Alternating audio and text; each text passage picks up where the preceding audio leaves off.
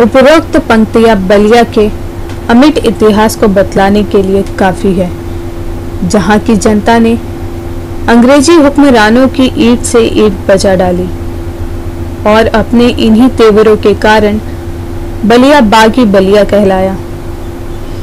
दरअसल किस्सा अगस्त 1942 का है, जब राष्ट्रपिता महात्मा गांधी द्वारा भारत छोड़ो आंदोलन की घोषणा करने और तदोपरांत उनकी नज़रबंदी के बाद देश में जनाक्रोश फैल गया। चारों तरफ़ अंग्रेज़ों भारत छोड़ो के नारे लगने लगे। जनाक्रोश भी ऐसा कि इसे भारत का द्वितीय स्वतंत्रता संग्राम कहे तो कोई अतिशयोक्ति नहीं होगी। इस जनाक्रोश से बलिया कहाँ अचूता था? 9 अगस्त 1942 की सुबह बलिया के बागी तेवरों की बानगी बनकर आई। बलिया के अलग अलग तहसीलों में लोग इकट्ठे होने लगे। जगह जगह तिरंगा लहराया जाने लगा। भीड़ का उन्माद इतना था कि पुलिस को कई बार लाठीचार्ज करना पड़ा। पर भीड़ तो जैसे स्वराज के लिए मतवाली थी।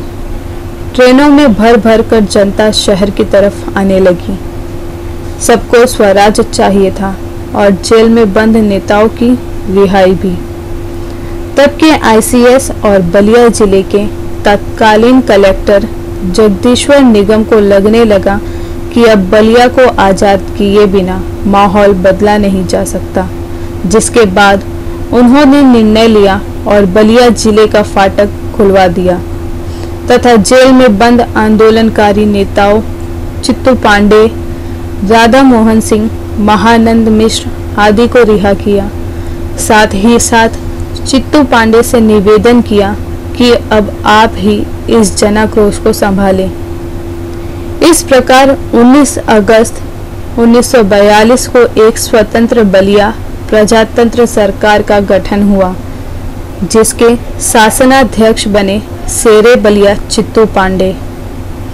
इस सरकार ने 14 दिनों तक बलिया पर हुकूमत की। शेरे बलिया की उपाधि चित्तू पांडे को स्वयं पंडित जवाहरलाल नेहरू ने दी थी। बलिया के इस बागी तेवरों से अंग्रेज़ी हुकूमत का हौसला पस्त होने लगा। साथ ही भारतीय स्वतंत्रता संग्राम का सबसे महत्वपूर्ण दौर भी आरंभ करने में बलिया की क्रांति का अमिट योगदान रहा। हरिमोहन उपाध्याय की रिपोर्ट, बॉर्डर इंडिया।